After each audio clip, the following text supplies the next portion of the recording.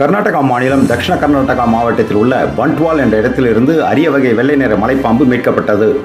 Albino என்று அழைக்கப்படும் இந்த மலைப்பாம்பு ஆப்பிரிக்கா நாட்டில் மட்டுமே காண முடியும்.